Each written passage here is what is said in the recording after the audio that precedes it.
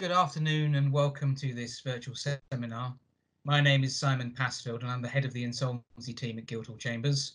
I'm joined today by my colleague Stefan Ramel, who is a member of our commercial and insolvency teams and will be known to many of you, I'm sure, as one of the leading experts in the country in cross-border insolvency. Uh, good afternoon, everybody.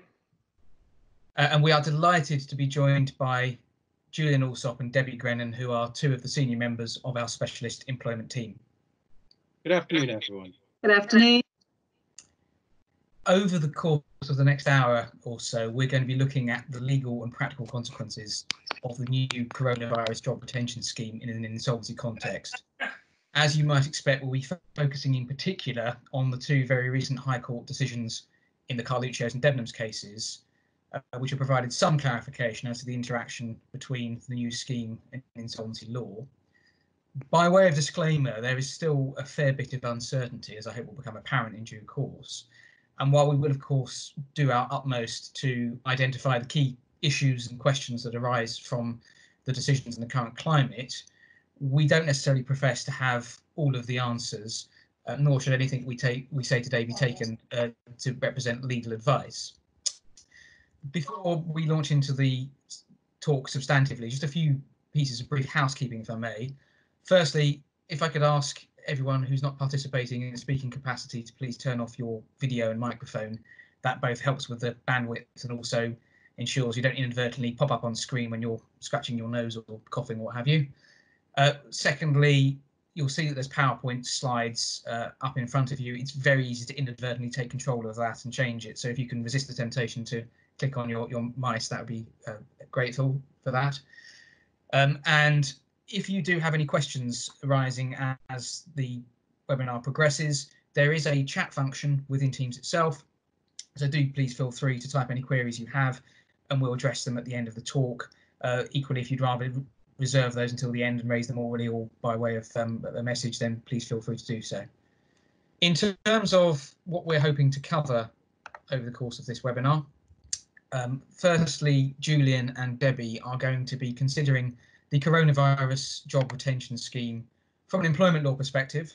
Stefan and I will then take a look at the position from an insolvency law perspective, and we anticipate that those two slots will take, broadly speaking, about an hour.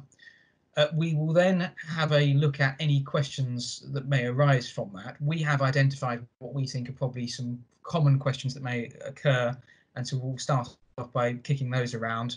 But as I say, if anyone else has anything they would like to ask, then please feel free to do so, and we'll pick those up at the same time as well uh, and address those in the final slot.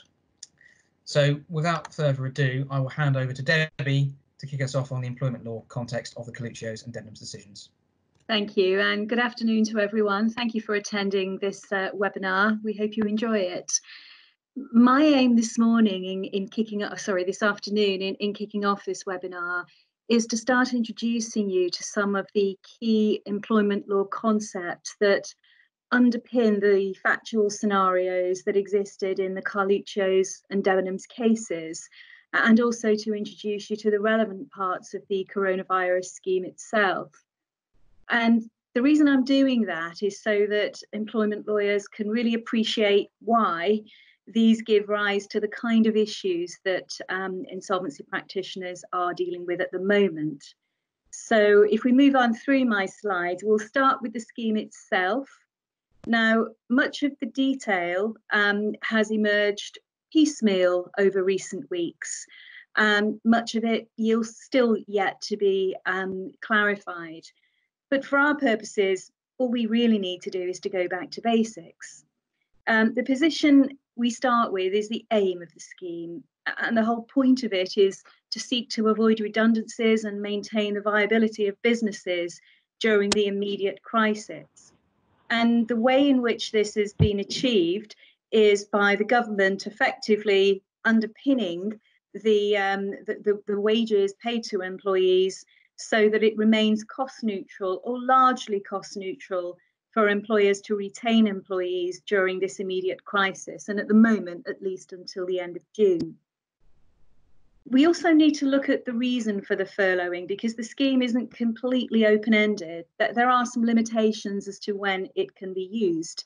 And the following slide will just set out the circumstances in which the scheme can be um, adopted by employers. The best information we have is in the Treasury direction that was issued to HMRC on the 15th of April.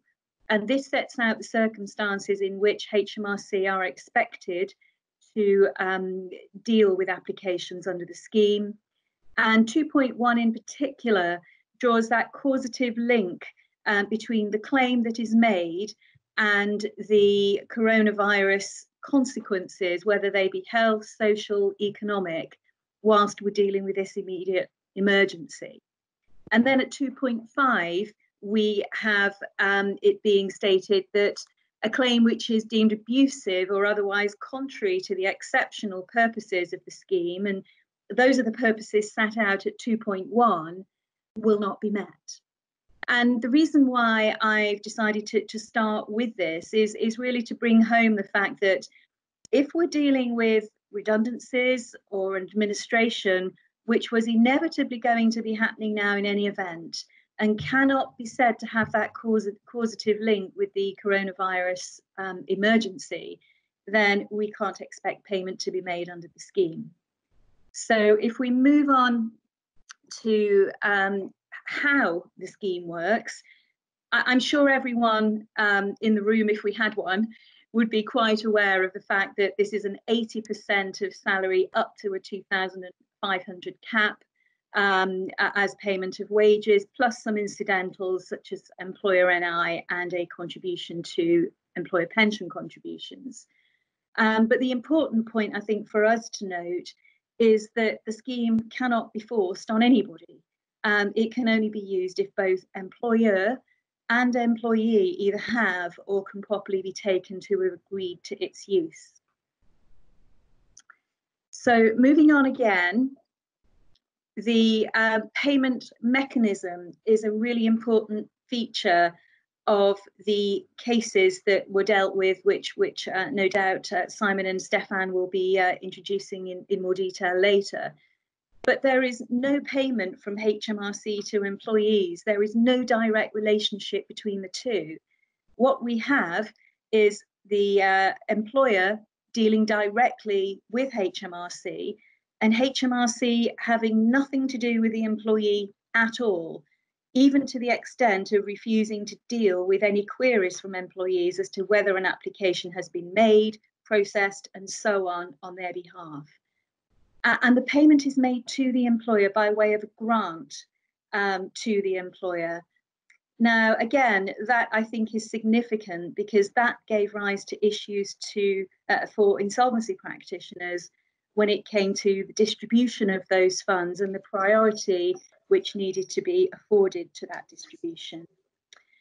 Um, an important point, and perhaps one of the two most important points of my section of this presentation is this. What happens to the employment contract when an employee is furloughed? Is the contract in some way suspended? Is there a stay placed on the contract whilst the furloughing takes place? And here at least we have a very clear answer, and, and it's a very definite no. Um, the employment contract continues unaffected, save for the specific variations that furloughing requires. So all other terms of the contract, whether they are express terms or the implied terms, continue in force. Continuity of employment continues. There is no break. The whole point of the scheme is to preserve employment. So, except to the extent that the contract is varied, it continues in force. And that then leads us to the question of, well, do we need a variation? And, and the obvious answer of, yes, of course we do.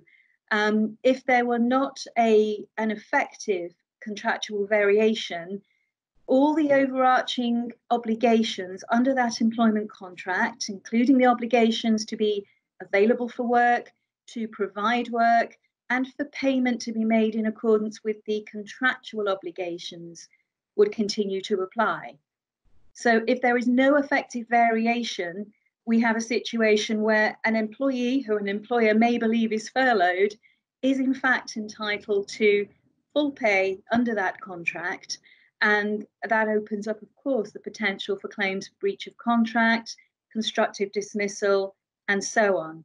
So employees who wish to vary have to be confident that they have a, a variation in place which is effective. And that applies just as much to an administrator as it does to the um, employer. So next question is, if we need to have agreement to furlough, what does that mean? How do we how do we get that agreement? And we have two documents that have given us an insight into what may be required for an agreement to be effective for the purposes of varying the contract. So far, we've had six different versions of the guidance that has been issued piecemeal from time to time.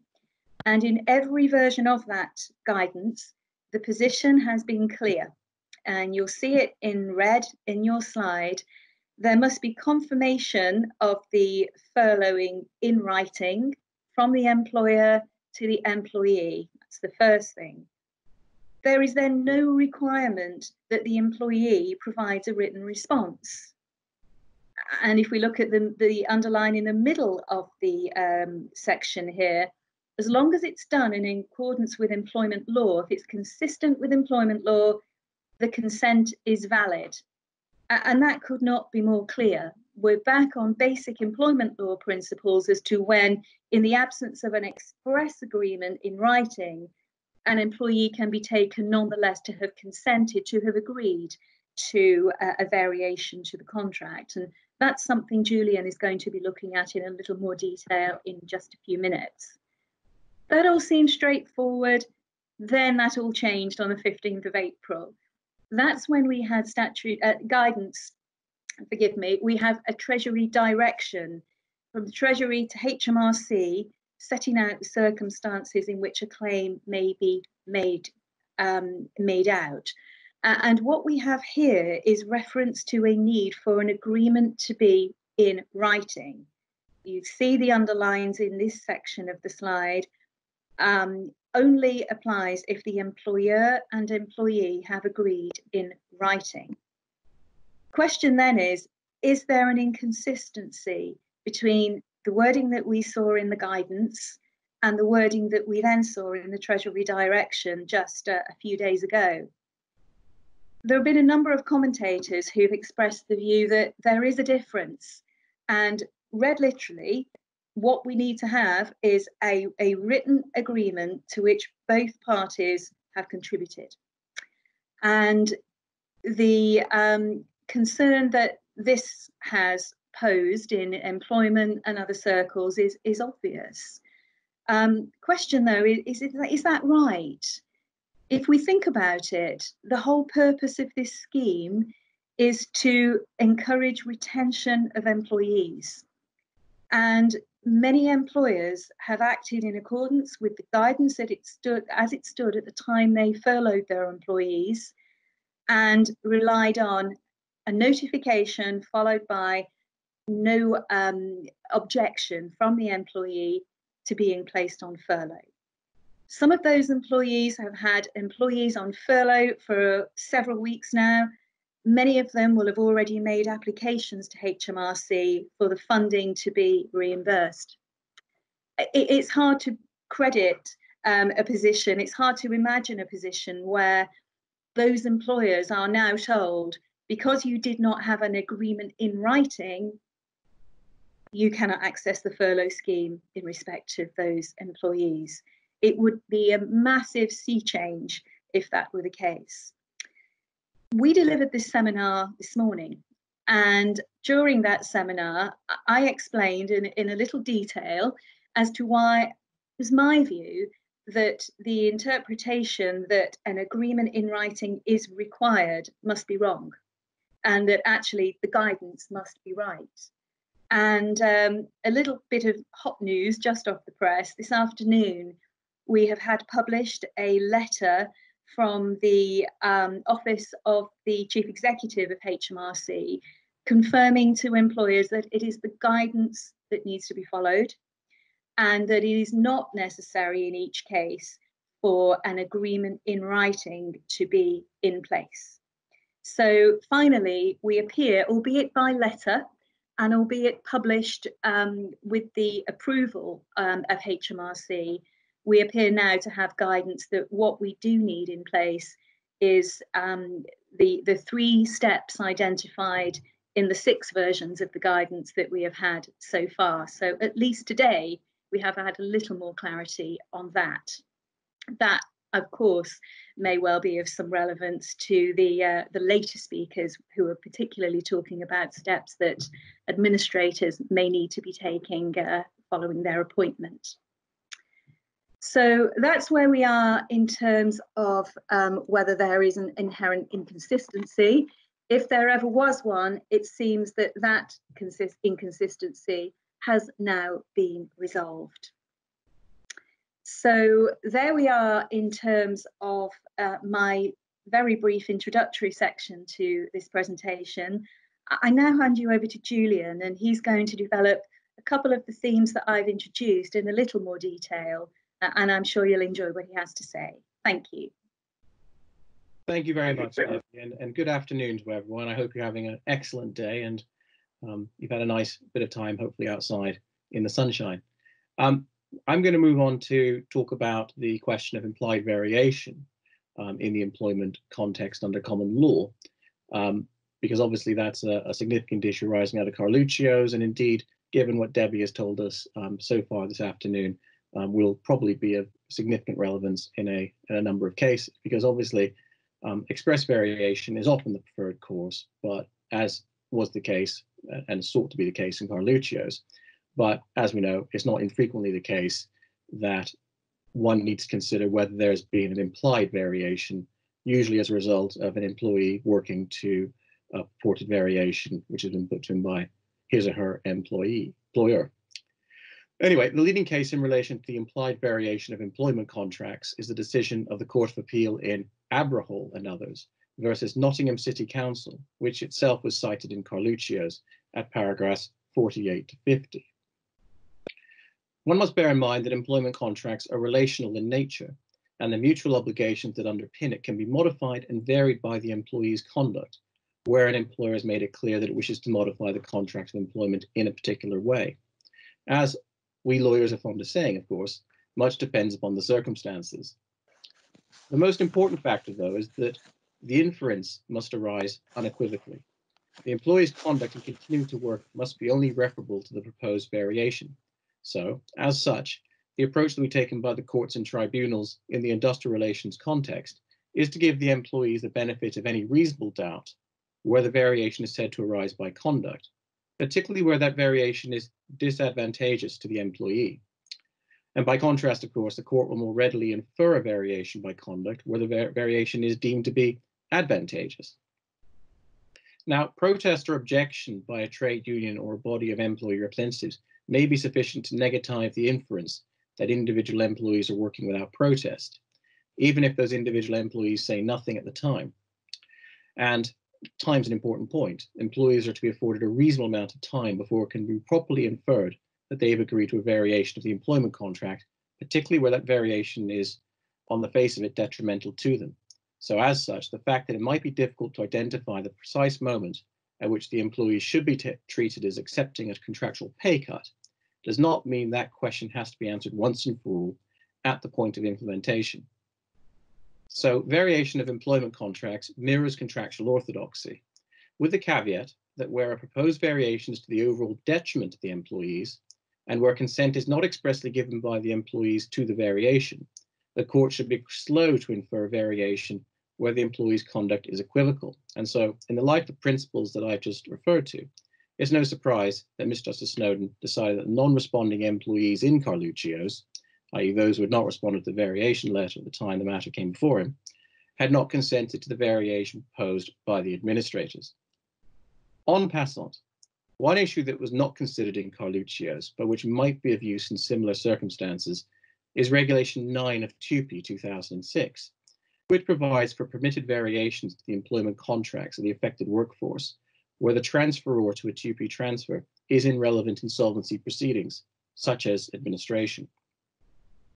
Now, Regulation 9 is not one of the parts of TUPE that is frequently referred to or cited, um, but nonetheless, it's worth considering. It permits variations where the sole or principal reason for the variation is the transfer and is not an economic, technical, or organizational reason entailing changes in the workforce, and the variation designed to safeguard employment opportunities by ensuring the survival of the undertaking business or part of the undertaking or business that is the subject of the relevant transfer. So, for instance, a transfer related pay cut with no other changes to the workforce would be within the scope of Regulation 9. However, if there was a change to the workforce contemplated by the variation, then it would not fall within scope. So if there was such an economic, technical, or organizational reason, it would be possible for the employees themselves to agree contractual changes by regulation for subparagraph 5 of TUPE 2006, but not under Regulation 9. So where you're in Regulation 9 territory, Regulation 9 enables those permitted variations to be effective where they are agreed by appropriate representatives the assigned employees. In other words, representatives of those employees who are assigned to the undertaking that is to be transferred. The appropriate representatives are the recognized trade unions, or if they're not relevant, to some, to all or some of the workforce, the elected employee representatives. But so long as express consent is received in accordance with the terms of Regulation 9, the permitted variations would be contractually binding. Now, one issue, of course, is whether there's adequate time in the transaction. But if there was, or if there was sufficient pre-planning, Regulation 9 might be a neat way of getting past the issues posed by employees in a similar position to the non-responding employees in Carluccio's, as effective consent to furlough could be achieved on a collective basis. In any event, where there is a recognized union, employers, of course, should bear in mind, given that at the present time we're concerned with the prospect of a variation of a significant number of employment contracts, that pursuant to section 178 subparagraph 2 and section 181 subparagraph 2 of the Trade Union Labour Relations Consolidation Act 1992, the union has a right to information upon its request in relation to, amongst other things, its ability to collectively bargain over the terms and conditions of employment or physical working conditions, the engagement or non-engagement, as it may be, termination or suspension of employment or duties of one or more workers. It may also be relevant to consider whether there is a collective agreement that requires information and collective consultation in any event outside of the usual statutory provisions relating to collective consultation in the event of a proposal to dismiss 20 or more workers on the grounds of redundancy. See, of course, section 188, subparagraph section 1 and of, of, the Trade Union Labour Relations Consolidation Act 1992 and um, the, the, provisions of Regulation 13 of TUPE 2006, where we're talking about TUPE transfers. So moving on then to the next um, part of Carluccio's, um, which, which, which touches and concerns employment law, we look at the question of whether or not there's a duty to apply under the CJRS. And this was the final issue that was considered in the Carluccio's case, and that was whether or not the administrators themselves were under a duty to apply under the CJRS in respect of any of the employees to whom the variation letter had been sent. The submission that was put was based upon the bedrock of the implied term of trust and confidence, coupled with the common law authorities, in which a right to serve notice of termination can be constrained in certain circumstances by the implication of a term, particularly where there is a benefit under or incidental to the, to the contract of employment that can be relied upon as an alternative to dismissal. In the case of Aspden versus Webb's Poultry and Meat Group Holdings Limited, and this is a case that was referred to um, expressly in, in Carluccio's, it was held by Mr. Justice Sedley, as he then was, that a right under the contract of employment to terminate in the event of prolonged illness could be limited in circumstances by an implied term where it was known at the time the contract was entered into that the employees could benefit from a permanent health insurance scheme if they remained in employment for the duration of their incapacity. That implied term did not prevent summary dismissal in the meantime for gross misconduct, but nevertheless was a fetter for other types of dismissal and notice, particularly in the circumstances where there would be a benefit uh, in continued employment.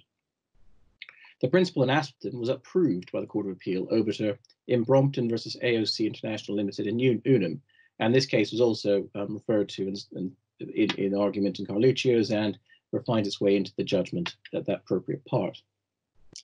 More recently, in the case of Awan versus ICTS Limited, which you'll find in the Industrial Relations Law Reports, the 2019 um, edition at page 212, it was held that a term might be implied to prevent the employer from depriving the employee of a long-term disability plan. And then probably even more relevance to the uh, those who um, deal with insolvency practitioners or indeed insolvency practitioners on this call. Um, if you move away from the um, fruits of occupational insurance benefits, you'll find the case of Jenvey and Australian Broadcasting Corporation, where it was held that there was an implied term in the case of an impending redundancy that employers would not dismiss for some other reason without cause, so as to deny an employee, employee of his rights under a contractual scheme for enhanced redundancy rights. So ultimately, much will depend upon the terms of the contract. If the contract is particularly detailed as to the way in which dismissal is to be conducted in certain scenarios, there may be less room for the implication of an implied term.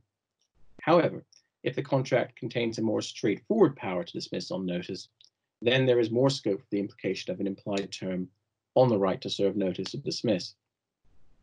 One should also bear in mind the related issue of whether or not dismissal is fair within the meaning of Section 98.4 of the Employment Rights Act 1996, even if notice has been lawfully served. And the line of cases beginning with First West Yorkshire and Haigh would suggest that where there is the prospect of an enhanced pension on retirement through ill health, an employer will also be expected to take reasonable steps to ascertain whether the employee is entitled to the benefit of ill health retirement before fairly dismissing that employee on account of their ill health. And if they don't, there may well be an issue in respect of the fairness of the dismissal. So drawing together the wrongful dismissal and the unfair dismissal jurisprudence that I've just referred to, I would respectfully disagree with the view expressed by Ms. Justice Snowden at paragraph 106 of the Carluccio's judgment. So subject to the question of adoption and super priority, which Simon and Stefan are better placed to address you on, Viewed through the prism of employment law, I consider there's a real risk of liability where the administrator does not take steps to make a precautionary application of this CJRS scheme, even where there are employees who have not responded, but of course not objected, to the request to vary their contracts of employment to enable furlough to take place, as the direction of travel is otherwise, uh, as direct travel rather otherwise is, to, is towards dismissal on the grounds of redundancy. And I consider in the current circumstances, an employment tribunal or judge would take a sympathetic view towards a claim brought by an employee in similar circumstances. So that's um, the, the second employment issue arising out of the Carluccio's case. And so to see how that um, plays out um, through the prism of insolvency law, I'm going to pass you on to um, Stefan Ramel, who will take you into the next part of this talk. Thank you very much. Uh, Julian and Debbie, uh, thank you very much for um, uh, those that commentary on the um, employment aspects of the furlough scheme. Uh, so moving on to the uh, insolvency stroke administration part of the scheme, uh, what Simon and I propose to do is to um, divide this segment up of the webinar as follows. Um, a, bit like the, I suppose, the life cycle of a claim into the scheme, we'll look at, uh, to begin with, how you get into the scheme, what uh, uh, uh requirements you have to fulfill, and so on. Once you're in the scheme, uh, and this is where we'll look at Carluccio's and Debenhams in some detail, how are payments received by the administrator or the other office holder to be treated in the relevant insolvency? and finally, the third phase will be to look at um, what happens when the scheme comes to an end, uh, uh, and it's the part of the talk that Simon has flagged uh, in saying unintended consequences. So uh, the the first part, how how do you get into the scheme? Um, there is, uh, I think, a prior question, uh, which is, is it available in different insolvency processes?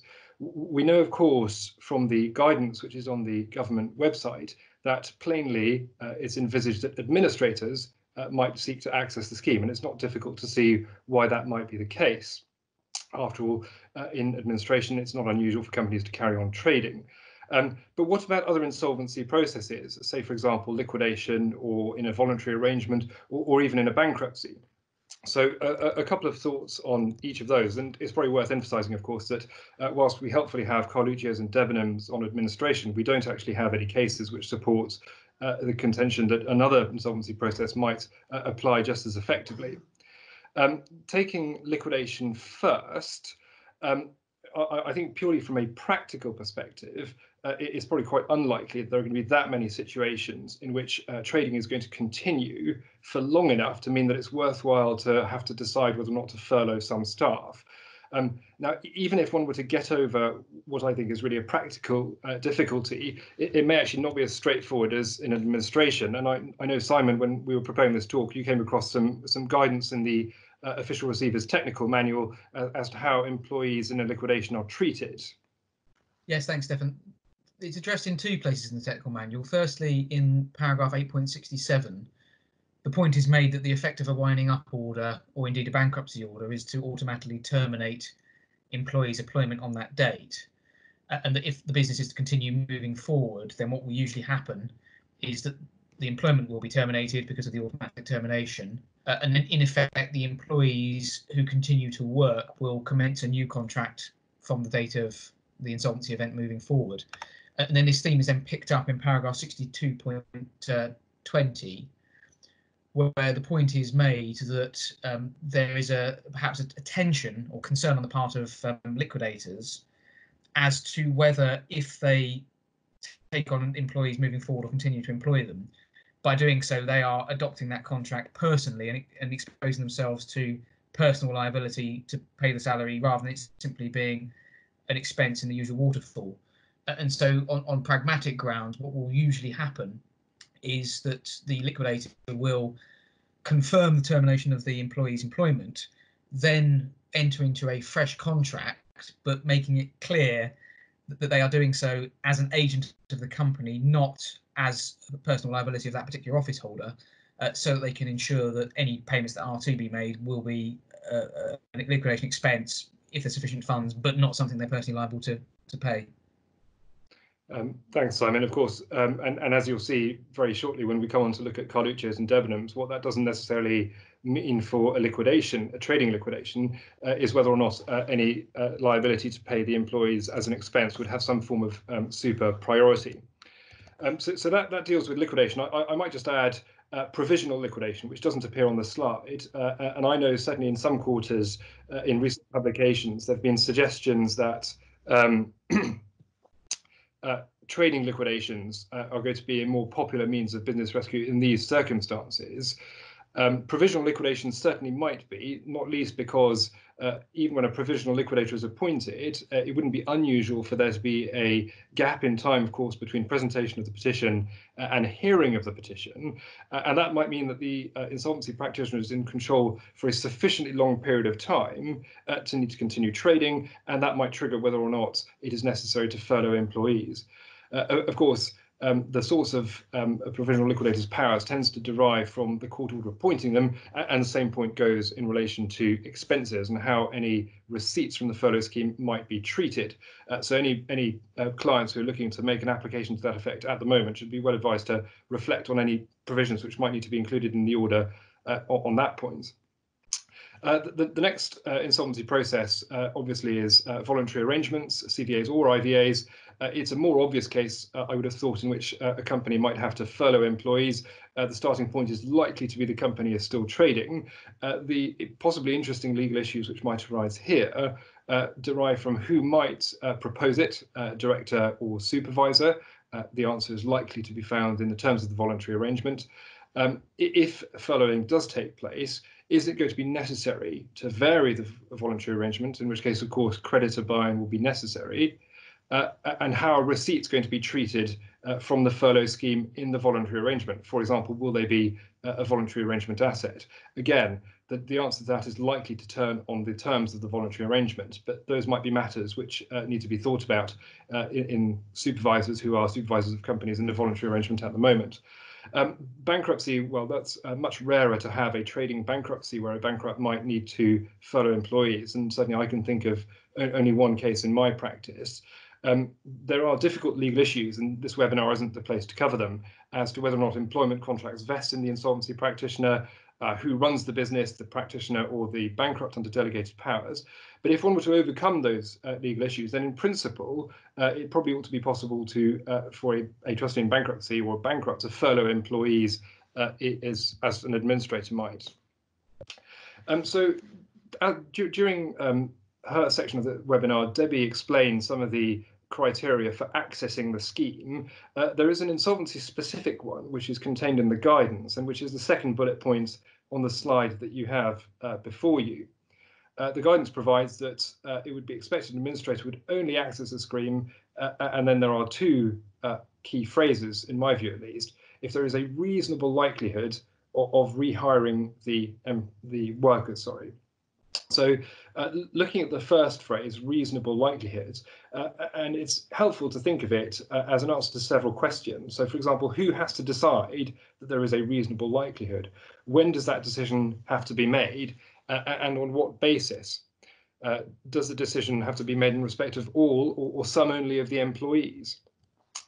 Um, the, the, the, first question, well, the likelihood is um, in an insolvency, it'll be the insolvency practitioner, providing furloughing hasn't happened before the appointment of the practitioner. Uh, so, for example, in Carluccio's, it was the administrators who had to make the decision. Uh, at what point does one make the decision to go into the furlough scheme? And I think here it's helpful to just have in mind uh, the, the steps which are required. Um, we've heard in, in very helpful detail from uh, Debbie and Julian whether or not a variation of the contract is necessary, and that's plainly one step. Uh, there might be another step, you might say, which is actually submitting some form of application into the scheme, which is a second step. Uh, and then, as in Carluccio's and Debenhams, it might be necessary for you to make an application to court, which means your evidence will have to deal, as it did in Carluccio's, with whether or not the reasonable likelihood threshold was met. Uh, it, goes without saying that uh, decisions like this really ought to be documented if they're going to be scrutinised in due course, and it's not difficult to foresee circumstances in which that might happen. Um, but also, uh, it's worth making the point that uh, sorry, a trading administration or any administration, uh, the position on the ground changes very quickly. And so, whilst it might be appropriate to furlough at one of those stages, uh, in fact, that may have changed for reasons outside the administrator's control, um, and that throws up interesting questions uh, as will as we'll go. Um, now, the, the phrase reasonable likelihood, what does it actually mean? Um, is it necessary for the insolvency practitioner to have had an offer for the business? Uh, what about if he's had an expression of interest? Uh, and that was the position in Carluccio's. The uh, judgment of Mr. Justice Snowden recalls that the insolvency practitioners in that case had had expressions of interest in purchasing the Carluccio's business. Uh, what, on the other hand, if the IP has not had any expressions of interest, but has general experience of acting in these sorts of companies in the relevant sector and knows that nine times out of 10, the business will be sold as a going concern? Is that enough to mean that there is a reasonable likelihood uh, the, the final question that I pose is, does it apply to all employees? Now, uh, why, why should it apply uh, to all employees? If, for example, you're able to separate out different processes in the business, there might be uh, frontline employees in the business who are manufacturing something, providing a service, and then you might have back office staff who are doing different functions. Is it necessary to furlough all of them? Do you have to apply the reasonable likelihood test to each category of employee? Um, Simon, in, in due course, will deal later on with what happens if uh, uh, HMRC were to reject a claim, uh, and that turns in part on the status of the relevant employment contract. Uh, if the decision to furlough turns out, sorry, even if you furlough and that's rejected, uh, who has the liability to pay that employee? Um, in administration, uh, there might be a question arising as to which purpose of administration the administrators are pursuing. Uh, plainly, uh, little a, rescuing the company as a going concern will be fine, uh, but B and C, uh, achieving a better result for creditors or making a distribution to a secured creditor might be more open to doubt. And it might depend on factors such as, for example, whether or not the business is being sold on a going concern or on a breakup basis. Um, the, the, last phrase, uh, just to draw attention to, or last word even, is rehiring. Um, and it might be thought that it's not a, a terrible, terribly helpful way of expressing the, the concept they're getting at. Uh, rehiring suggests that the hire has ceased, but as Debbie has very clearly explained, the effect of furloughing from an employment law perspective is not to cause the contract to cease to exist. Uh, rather, um, it, it's paused, I suppose you might say, maybe not even that. Debbie may not agree with that, uh, but the contract is still there. So um, I, am not sure one can talk in terms of rehiring. Uh, the way Snowden analysed, analysed that was to say that if the business is transferred uh, to a new co and the restrictions imposed by coronavirus uh, are lifted and the activities resumed, then the, the employee will be treated as being rehired. Um, but as we'll see uh, in the unintended consequences section, the rehired uh, wording might support um, a slightly different conclusion to the one reached by the um, by the two judges. Um, I, I, think that takes us, Simon, to the uh, part of the talk where we're in the scheme uh, and there are questions arising as to uh, what how income in the scheme is treated.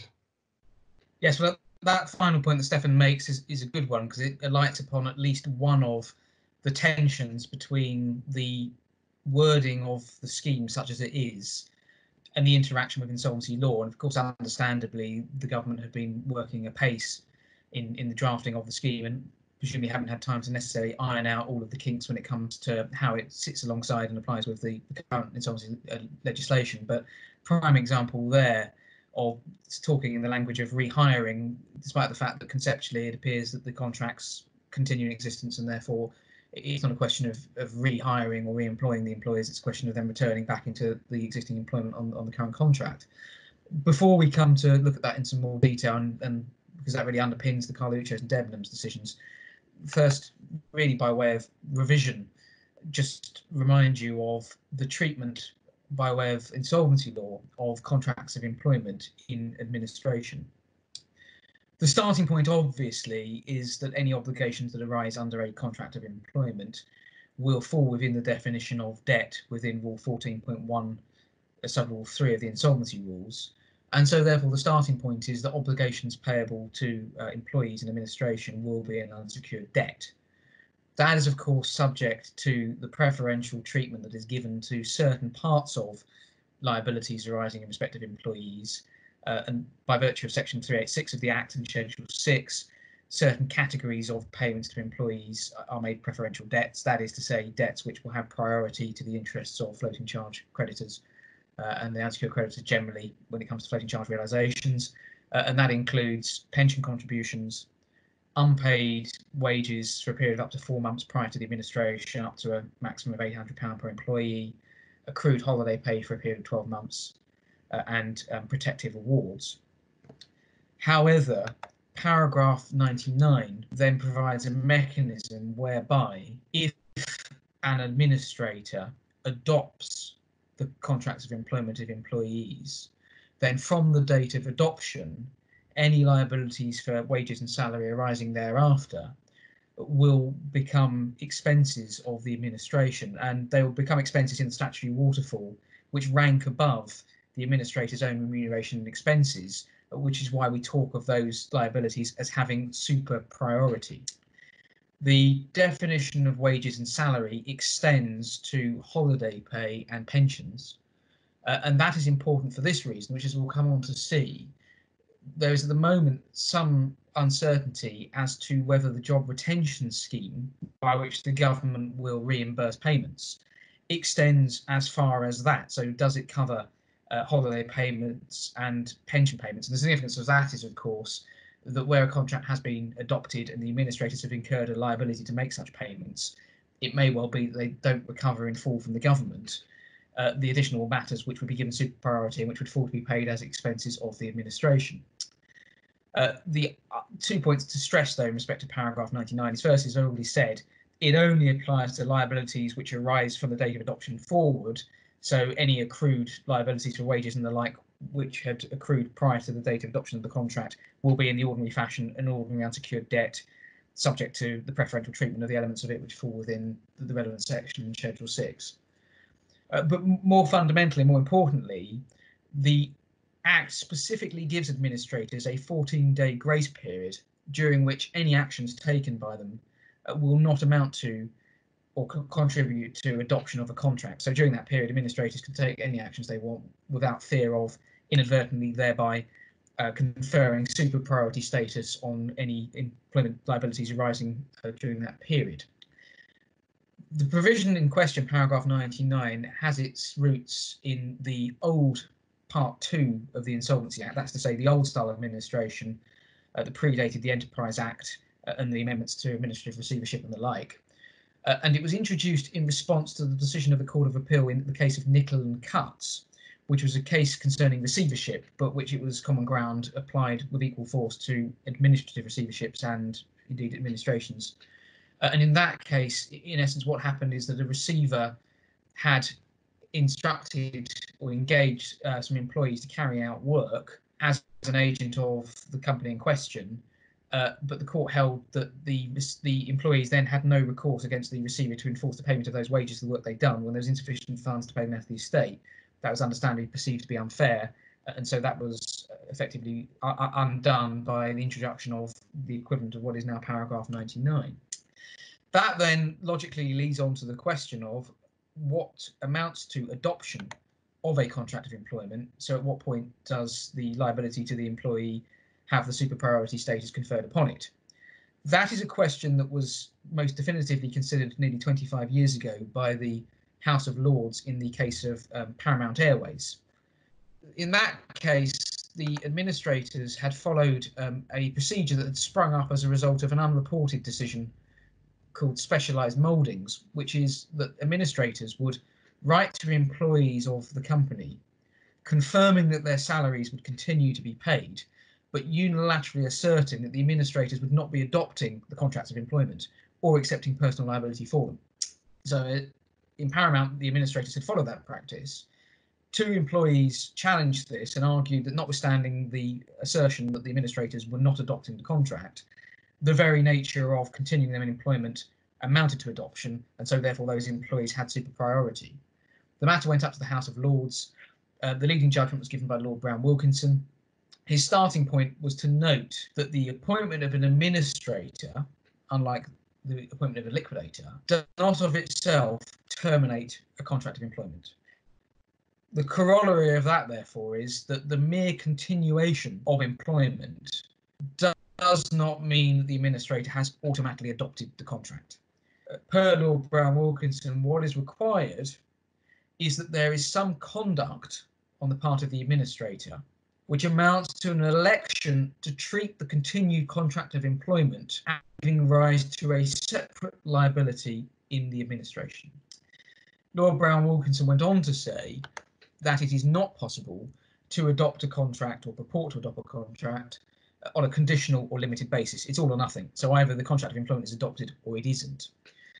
Now, slightly unhelpfully, if I can put it that way, he then drew this all together in his conclusion, and the language he used is perhaps apt to misinterpretation, uh, or, or, at least ha having been considered in the Carluccio's and Debenham's case, one can see how a, a, skillful forensic analysis by a counsel who's wishing to adopt a particular position might lead to suggesting it means something contrary to what had been said in the preceding paragraphs. But because what Lord Browne-Wilkinson said in summary was that an employee's contract of employment is adopted if he is continued in employment for more than 14 days. And that phrase, continued employment, is somewhat ambiguous because it's arguable and was indeed argued in the later cases we'll show in a minute uh, that if after 14 days you haven't terminated the contract, you have continued them in employment. But of course, that sits slightly uneasily with the suggestion there needs to be a positive act of conduct on the part of the administrator. That, therefore, then is the context in which we consider adoption generally, the issue that's arisen in the two most recent cases is in the specific context of furloughed employees and what actions are needed, or, or, or put it another way, what actions constitute adoption of the contract in that context. The first of those decisions was that of Mr. Justice Snowden in Carluccio's, uh, which Stefan will consider now. Uh, Simon, thank you uh, very much. The um, just a, a, very scene-setting reminder of the of, of, the facts of Carluccio's, uh, the branches of the restaurant group closed in mid-March. Uh, the group went into administration on the 30th of March. Uh, the strategy of the administrators was to mothball the business and in parallel seek a sale uh, to achieve a better result uh, than in a winding up. Uh, rather than make all employees redundant, the administrators wanted to access the furlough scheme, and they wrote to the employees inviting them to agree variations of their contracts, which would provide that the employees would only be paid 80% uh, of their wages if and when the administrators received funds from the scheme, uh, a, sort of um, pay when paid uh, uh, scenario, if you will. Um, by the time it got to uh, Mr. Justice uh, Snowden, the insolvency issue that he recorded he was addressing was whether or not the administrators would be able to avoid incurring liabilities by adoption of the unvaried contracts of employees who have not responded to the variation letter. Uh, so they are not forced to have to make all of those employees redundant before the end of the first 14 days of the administration. Uh, in, in, reality, the debate then soon moved on to whether or not uh, when receipts from the scheme are arrived in the hands of the administrators, they are treated either as having super priority under paragraph 99 or whether they could be applied in a distribution by way of paragraph 60, and the difference being the super priority. Now, one submission which appears to have been made to uh, Mr. Justice Snowden was that uh, to the extent that, as Simon has, has explained, paragraph 99.5 was brought in uh, to cure the Nichols and Cutts mischief, the idea that an employee would continue working for a receiver or administrator but would have no recourse uh, for payment. Uh, this, in a sense, is the reverse of that. Uh, the, the, employee is specifically being asked not to work uh, for the company, uh, and the money is going to come from the government scheme. Therefore, there is no need, so it was argued, uh, to have anything to do with paragraph 99.5. Uh, 66, so it would be said, was the route. Now, Snowden rejected that contention, principally because in paragraph 99.5, it, it doesn't say anything about whether or not the employee is or isn't rendering services.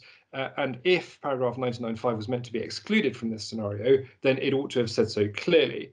Um, e even outside the context of the coronavirus crisis, uh, Mr. Justice Snowden thought there might be other examples of cases where it would be useful for an employee to be kept on and placed in furlough, even if they're not working, uh, for example, to keep restrictive covenants going.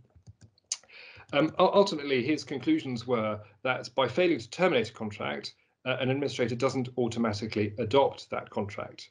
He also said uh, the same is true if furloughing is undertaken, uh, and query what, what he means by furloughing, within 14 days of the appointment. However, if an administrator does one or other of these two things, uh, either makes an application under the scheme or makes a payment under a varied contract, that would amount to adoption for the purposes of paragraph 99.5, uh, assuming, of course, that those acts take place outside the 14 days of appointment. Now, uh, one is left thinking in reaction to that, well, why is that the case? If you bear in mind what Simon has just been through uh, in discussing Paramount and Lord Browne-Wilkinson's conclusions about conduct, uh, the, the, explanation we find in paragraph 91 of Carluccio uh, the, the key part of this citation is, is the latter half of it. Uh, by doing one of those things, the administrator will be doing an act which could only be explicable on the basis that they were electing to treat the varied contract as giving rise to liabilities which qualify for super priority. Uh, and, and this, this submission was made in, in Debenhams, but that, that raises the question why? Just because the administrator participates in the scheme and pays money to employees having received it from the screen, why does that mean that the, the administrator is treating uh, those receipts as having super priority. Um, if paragraph 66 works, then they wouldn't have super priority at all. Um, the, the, um, the, the question was left open, uh, if you like, in uh, Carluccio, uh, and it was raised uh, squarely in in Debenhams, um, to which uh, Simon is now going to turn. Thank you, Stefan. Uh, and just briefly, by way of background to Debenhams, this is a case in which the administrators are attempting to pursue what's being dubbed in the press a light touch administration.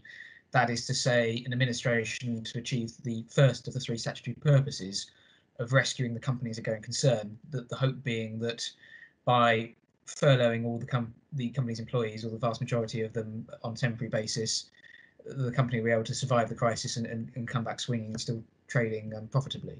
Uh, so the management team remain in place with the assistance of the administrator and the benefit of the moratorium and the other statutory protections.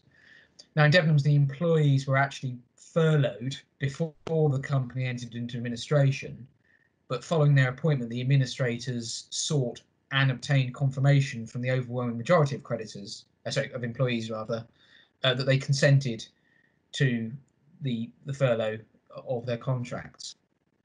The reason why the matter ends up in front of the court is because the administrators, despite the decision uh, in Carluccio's, remain concerned about adopting the contracts of employment, and this was for two reasons uh, predominantly. Firstly, as I've already alluded to, there's a lack of clarity whether sick pay and holiday pay uh, which would qualify for super priority under paragraph 99 are reimbursable under the scheme so that there is this possible um, discrepancy between the amount of money that can be recovered from HMRC and the amount that the administrator is notionally liable to pay by way of administration expense if they adopt the contract. The second concern was that although the majority of employees consented to furlough, there was still a sizable number who hadn't responded. And the concern on the administrator's part was that if they inadvertently adopted those contracts, uh, then that could have serious consequences, which means that they would have to dismiss some or all of those employees uh, and then look to re-employ them at a later date, which would then reduce the value of the business as a whole uh, and therefore have a detrimental effect on the attempts to rescue the company. Now, the consideration of the question as to how adoption works was very squarely at the front of the court as it was in the earlier Carluccio's decision. Mr Justice Trower, as one might expect, started by going back to Lord Browne-Wilkinson in Paramount. Uh, he noted that, uh, as we've already seen Mr Justice Snowden making the same point, that for adoption to take place, you need to identify some conduct by the administrators which causes the relevant contract to be continued. Uh, and as Stefan has pointed out, as Mr Justice Snowden said yet again, based on Lord Browne-Wilkinson, of course, the mere continuation of the employment is not enough. Um, but if the employee is continued in employment for more than 14 days, then that is sufficient.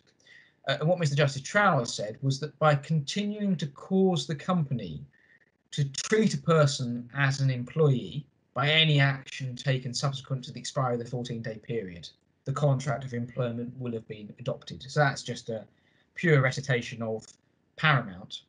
And then applying that to the facts of the instant case, he said that by causing the uh, administrators to make an application under the JRS and in making payments, uh, the administrators will be engaging in positive conduct, which presupposes that the contracts of the furloughed employees continue to exist, and in fact treat that as being the case. And, and the reason for that is this, is that the terms of the JRS itself presuppose um, that there are wages to be paid, because the way the scheme works, as Debbie's explained, is that the employer seeks reimbursement from HMRC of the proportion of wages which it has or will have to pay. And, and therefore there must be a contract of employment in existence in the first place for there to be a liability to pay wages in order to access the scheme. Uh, and so that's the basis why applying to the scheme must necessarily be consistent with the contract of employment existing. Mr Justice Trower, as Mr Justice Snowden had done, rejected the argument uh, that it's only possible to adopt a contract where services are being provided or to put it negative, it's not possible to adopt a contract where there's no services being provided.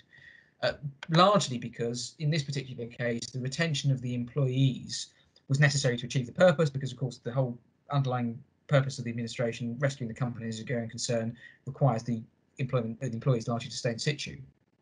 But also more importantly, the JRS itself requires the administrators to act as if not only the contracts continue, but also there are separate liabilities arising thereunder, uh, so the, the furlough and the JRS can be accessed. Now, uh, just a few points arising from those decisions.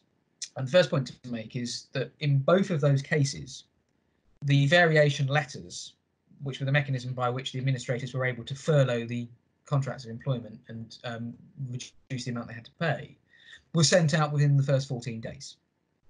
And we know that any act taken within the first 14 days cannot amount to, to adoption because we're told that by the statute. What those decisions don't have to answer is if steps are taken after the 14 day period to furlough employees, does that amount to adoption? And it seems logically that it must, not least because in, in both cases the judges were able to find the conclusion that there'd been no adoption by the furlough because that happened in the 14 day window. But it seems pretty clear that if an administrator writes to an employee after 14 days asking them to agree to a variation of their contract of employment and the employee agrees, clearly the administrator must be adopting that very contract because they want that contract to exist.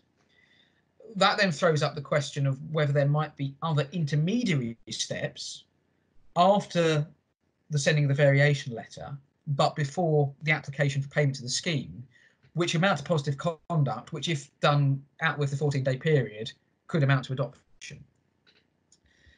It's clear from these decisions um, that making an application, of course, at the very latest stage is the point when the contracts are adopted. And Stefan posed the question right at the start, which I can now answer.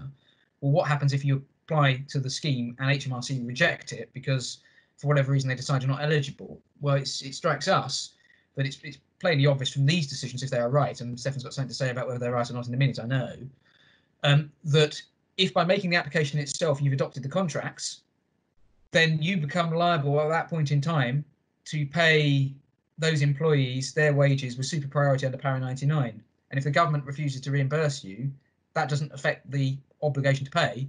And so administrators need to be very wary of circumstances in which they may inadvertently take on super priority as an expense for salaries of employees they hope to furlough who aren't capable of being furloughed for whatever reason. That then leads us uh, neatly on to paragraph 66, which Stefan mentioned before. And just to remind you, this is the provision which, in essence, gives the court the ability to authorise an administrator to make payments otherwise in accordance with the statutory scheme, which are not distributions to creditors and don't fall within the bracket of payments which can be treated as necessary or incidental to the performance of the administrator's functions. Because both of the judges in Carluccio's and Debenhams decided that paragraph 99 was the answer and regulated the circumstances in which uh, super priority applied or not, they didn't have to have recourse, recourse to paragraph 66. They did, however, leave open the question of whether or not paragraph 66 is a potential source of power for the court to authorise the administrators to make payments. Uh, and indeed, Mr. Justice Snowden suggested in Carluccio's that he could see some attraction in, in recourse being had to it. The problem is, if the judges have decided that the the proper analysis is contracts are adopted when you apply to the scheme, then Para 99 has its own statutory code for how you you uh, those payments. You don't need to have recourse to paragraph 66, it's of no help. However, Stefan thinks that he may have alighted upon an answer that circumvents all of this and doesn't require us to look at the Insolvency Act at all. Uh, it might be a means of perhaps getting around the two decisions in Carluccio's and Debenhams, if I can put it in those crude terms, Stefan. Well, Simon, thank you. I'm, I'm, not sure I'd put it quite that high, but um, uh, uh, uh and uh, maybe if I preface this with a word of warning about um, Carluccio's and, and Debenhams, uh, it's worth remembering that they are decisions made effectively without the benefit uh, of adversarial argument being received by either of the judges, at least it doesn't appear on, on these points. And moreover, they are decisions which have been made on the basis of guidance. Uh, and in the case of Carluccio, it's not even the, the Treasury paper, which uh, Debbie mentioned, which came out on uh, the 15th of April. Um, so, so these aren't decisions on a statutory instrument or, or, or a case. Uh, it, it is fair to say that in Carluccio's, it appears it was uh, tentatively suggested that the funds which the administrator receives from HMRC which are then going to be used uh, for the pay when paid uh, part of it to the employees, could be trust monies. But uh, Mr. Justice Snowden rejected that argument. Now, the, the, position moved on a little bit after the publication of his judgment in the Treasury guidance, uh, and in particular, paragraph uh, 2.4 uh, of that guidance, and, and, skipping over the, the preliminary bits, which deal with HMRC making what I'm about to describe public. Uh, but they have to tell a person who making who makes the claim that that person has to accept two things. Little a, uh, that payment made pursuant to such a claim is made only for the purposes of the scheme, uh, and little b, that the payment must be returned to HMRC immediately upon the person making the CJRS claim becoming unwilling or unable to use the payment for the purposes of uh, the scheme. Now, it might very well be thought uh, on the strength of that wording, and if, if that's the the, the legal basis upon which the payments are going to be made by HMRC to administrators, that there is a Quistclose or resulting trust which arises.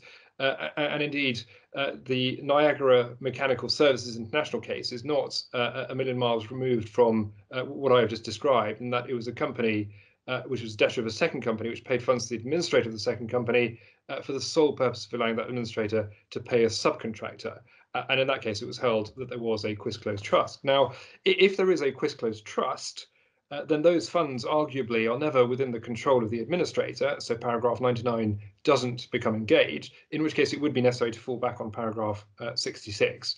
Um, but but the the potential arguments as I've just outlined them, I don't think were developed in quite that way in the in the Carluccio's and Debenhams cases. Um, Simon, I, I, think this takes us to the, the unintended consequences, which is um, if you think back to the, the start of this section of the webinar where I said we're going to look at it through the life cycle of the scheme.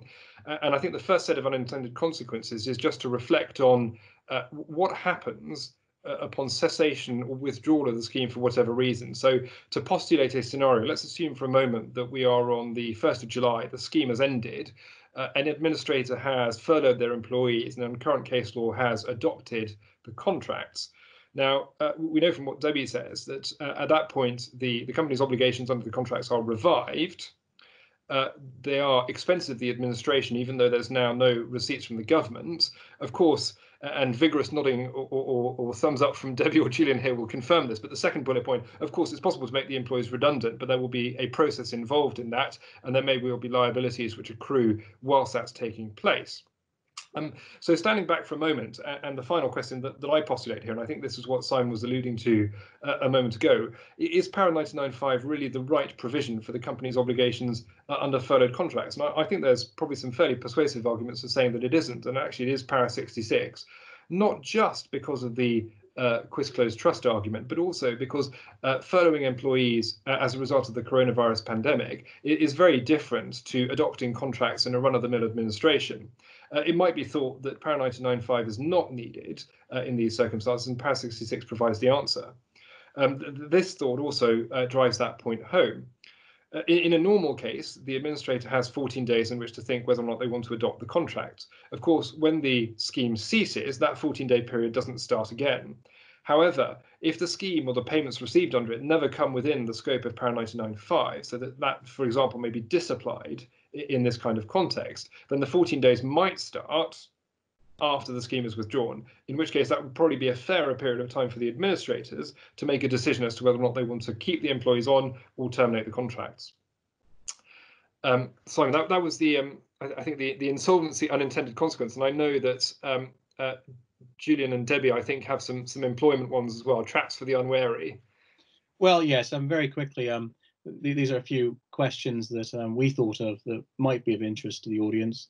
Um, the first one is the obvious one, which is the unresolved Carluccio's employment issue, and that is whether or not there's a duty to send a further letter.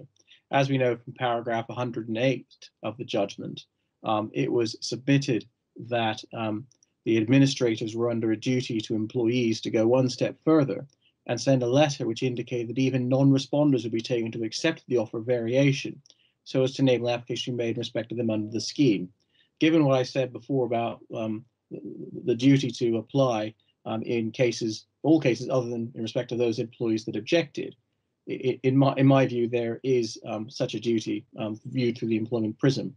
But the, the sub follow-up question is: Is this adoption? Is a question really that I think Simon or Stefan may be better placed to give us some insight on.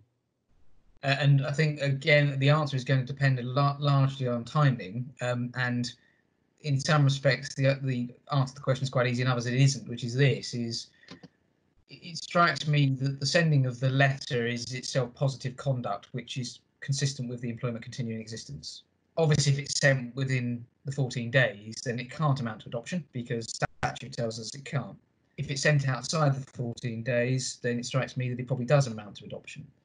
The more tricky question, of course, is um, what the consequences are of the acceptance or otherwise of the letter, because in Carluccio's itself, Mr. Justice Snowden made the point that where you've got a letter that's sent out that says, please respond saying if you'd like to be furloughed or not, and the non-responsive employees accept it after 14 days, that's not adoption by the administrator because there's been no positive act on the administrator's part, or rather their positive conduct happened within the 14-day period the fact that the, the contract is then varied is because it's accepted by the non-responding employee at a later date. So far, so fine. But what strikes me is the perhaps more difficult question, to which we don't have a ready answer, is what if the letter from the administrator, rather than saying, please tell me if you want to accept, says, if I do not hear from you by X date, you will be deemed to have accepted the offer of uh, varied employment because if X date falls outside the 14 day window, one can see arguments either way, you, depending on who you're acting for. If you're an administrator seeking to argue that you haven't adopted that contract, you would say, well, the thing that made the variation occur was the passivity on the part of the non-responding employee. It was nothing that I did positively, and so therefore I haven't adopted. One could mount a case for saying, though, that by sending out a letter within the 14 day period that presupposes that an, a, a, contingent event will happen in a date after the 14 days, by not recalling that letter or taking other steps, you should be treated having impliedly entered into conduct that adopts the contract. Don't profess to have the answer to that one. I think that's one of those imponderables that's thrown up by the uh, the litigation and um, and by the new legislation that we'll have to watch this space on. Indeed. Um, I suppose the next question then is uh, is one for, one for Debbie, I guess. What happens to Yeah. furlough employees' terms and conditions upon a TUPE transfer? I'll pick up this one. Effectively, it's business as usual so far as TUPE is concerned. The terms and conditions that were in effect prior to the transfer will transfer over, and that will include any temporary variations that uh, had been agreed. And of course, when that temporary variation comes to an end, the original terms and conditions of employment. So uh, no impact so far as TUPE is concerned, usual rules apply. And while I'm here, I'll look at Reg 8 also again, there's there's no significance here. Um, regulation of uh, regulation eight of TUPE, of course, includes a number of statutory schemes where liabilities don't transfer. Furlough scheme is not one of them, so uh, no help so far as regulation eight is concerned. Again, it's business as usual. So then, what's the relationship between furlough and layoff or short time? Um, is is there a relationship? Um, well, other than the transatlantic um, jargon, um, given our cousins across the pond who use furlough more frequently and have done for years, and our recent um, awareness of it in March. Um, other than that, that that that linguistic point, there is um, no relationship at all between furlough and layoff or short time. Um, eh, indeed, layoff and short time is such a residual category of, of of, um, of, of process that it's unlikely to be relevant in the vast majority of cases that we'll be looking at in the next few months. And so that Okay. leads to the next question of pay, Debbie. Yeah, I'll pick up this one. Um, needs to be remembered that furlough pay, defined as regular pay, has a very specific meaning and some exclusions that we absolutely do not find when we're calculating a week's pay for the purpose of employee entitlements under the Employment Rights Act, including, for example, redundancy payments. For example, furlough pay excludes any payment which is conditional upon performance, and there are a number of others. So do be aware that when any final reckoning comes to take place, there will be some discrepancies that need to be taken into account. Let me pick, also, pick up also on the next bullet point, which is uh, reference to a section four statement. Let me explain that. Section one of the Employment Rights Act requires an employer to send to an employee um, an, an itemized statement in writing of the main terms and conditions of employment. Um, section four says that when changes are made to those principal terms and conditions, they need to be notified in writing at latest within a month of the change taking effect. And those principal terms and conditions include terms relating to remuneration, which clearly would be affected. So uh, the, the point that really strikes me is that sending of a section 4 letter confirming changes to the uh, principal terms of employment from what you've said simon if this post dates the 14 days protected period that may well also amount to adoption even if everything else including the application for and receipt and payment out of payments from hmrc has taken place within the 14 days I think that must be right. Sending the letter is clearly positive conduct. The only reason to send the letter is because the administrator is working on the presumption that the contract of employment remains in existence, albeit varied. Um, and so, on that basis, that would probably be caught if it's outside the 14 days by the same reasoning that applied in Paramount and in Carluccio's and in Debenhams. So I think the answer there, I think the answer there, if the timeline works for you for all the other positive acts that may amount to adoption, um, I, I think it's to have sent out at the outset, isn't it? Um, those amended terms and conditions that will apply in the event that the variation is accepted. And that to the final point on the slide, um, which is just a residual question, I would think, in most cases, which is whether furloughing is a breach of the implied term of trust and confidence. In some cases, it could be envisaged that a particularly senior employee um, may view um, the, being placed on furlough and the, uh, the, the accompanying reduction in pay as being as being a breach, particularly if there were um, other reasons as to why that employee might not otherwise view themselves as being within the scope of someone who might be placed on furlough.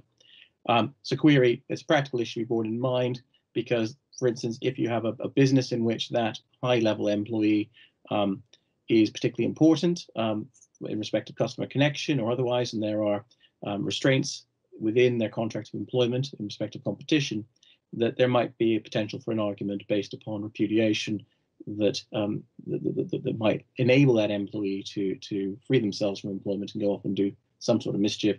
And one might want to avoid that process if you're in the process of trying to sell on an undertaking in this process.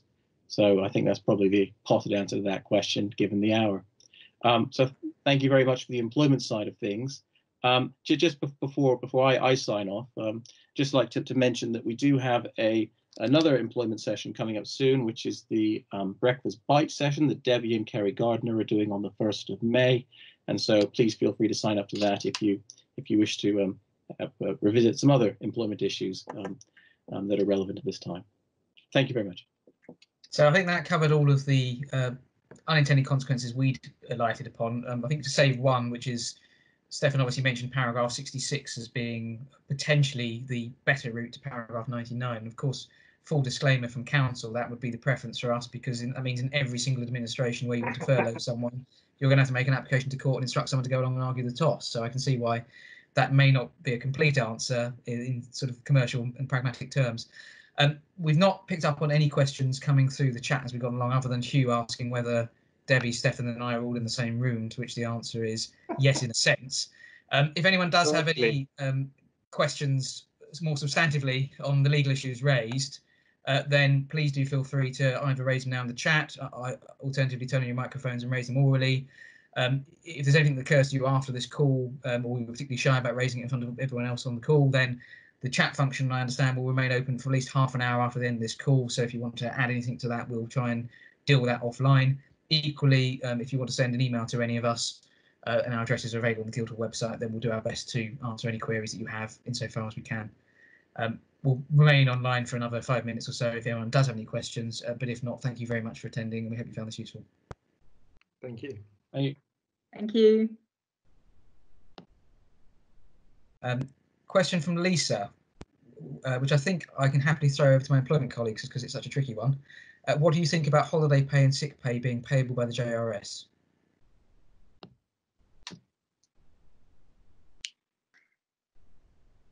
Well, as, as what do we think about it? Um, the holiday pay issue is yet to be resolved, and there have been some calls from many quarters for, for that to take place.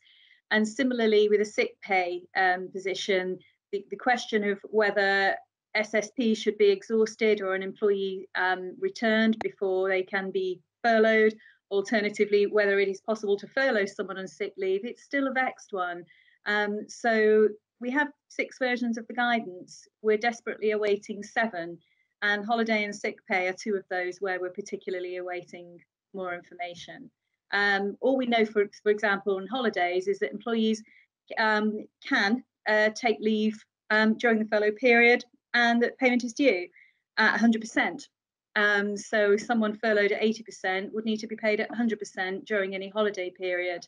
The extent to which employees can be required to take holiday during furloughing, whether that breaks the three weeks of furlough that's required as a minimum for the payment to be made, is another matter that we're yet to hear about.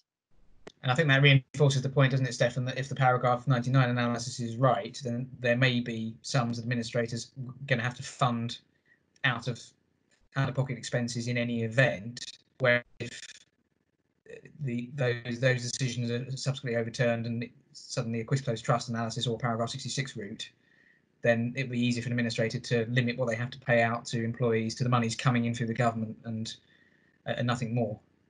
Yeah, absolutely. And I, I think I, I, see Lisa's um, followed up her, her, question, what can administrators do? And I, I, think the answer is either seek to argue that the, the receipts are subject to a Quistclose trust and so therefore don't get within 99.5 because they're not within the control of the administrators. Um, and or be very selective as to which employees are furloughed and which are really truly crucial to be kept on so as to minimize that exposure. I mean, I, I should say that um, although wages and salary in Para 99 scoops up uh, holiday pay and sick pay, it's not, I, I, think I'm right in saying everything is obviously subject to statutory limits, which we, we haven't delved into the weeds, weeds on in this talk, but um, have a close look at precisely what is included within that. Um, Scott Barrington has asked a question, I think, or at least put in a comment, if a contract is adopted by administrator, are they required to pay the excess 20% not covered by the CJRS? Uh, or do they need to vary contracts to say employees only entitled to the 80% under CJRS? The second, way uh, the way it's worked in both Carluccio's and Debenhams is, of course, the variation happened first, and then the administrators adopted the varied contracts, so that the administrator's liability was to pay whatever's paid under that varied contract, which was deliberately couched in terms that it was, as Stefan said earlier, pay when paid, and, and was only limited to that that came in from the government, albeit with that caveat, of course, that may include on top of it holiday pay and sick pay, which is swept up, unless uh, presumably it's been varied to exclude that. But I'm assuming from the employment perspective, you can't exclude in the contract the right to things like sick pay and, and holiday pay. Well, it depends, it depends what type of sick pay and holiday pay you're talking about. Just in answer to Scott's question, there's no obligation on employer um, or administrator to pay 100% um, as furlough pay. 80% is the amount that will be reclaimed. And it, it is standard um, across many industries for 80% to be the figure on which employees have been furloughed. If employers, as a matter of goodwill, want to top up, that's fine, but there's no obligation under the scheme to do so. It may conceivably make it more likely that some employees will say no and object to being furloughed if it's 80% rather than 100. Um, but there's no requirement under the scheme to pay at 100%. And I'm afraid to say, I suspect in the majority of cases, the idea of goodwill will be inconsistent with the duty of the administrator to maximise value for the credit.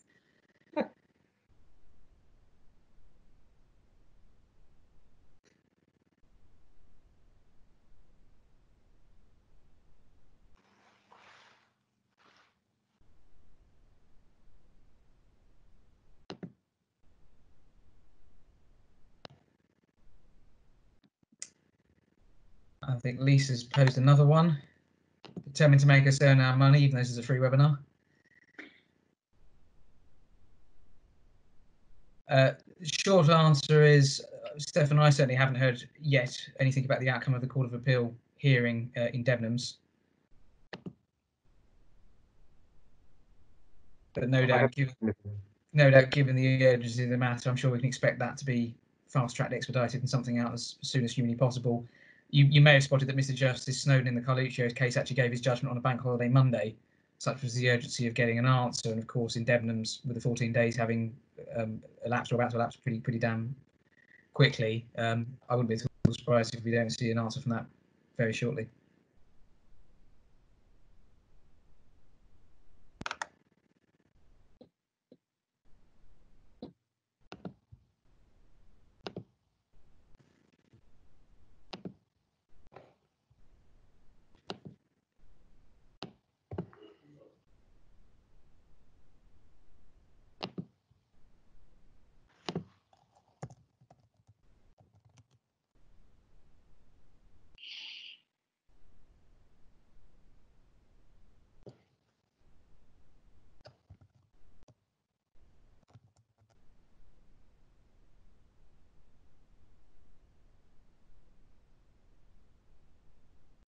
Probably concludes all the questions um, for today. As I say, if anyone has anything they want to add, then uh, feel free to to add them in the meeting chat or send us an email. But um, otherwise, we'll sign off now and say thank you very much for attending.